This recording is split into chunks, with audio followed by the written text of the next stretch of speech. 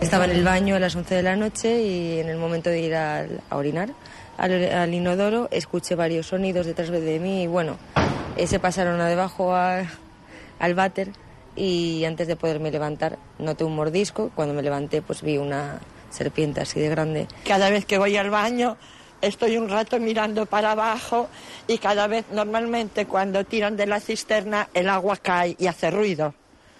Cuando estás en el servicio allí sentada y oyes ruido, pega unos botes que parezca un puñetero muelle.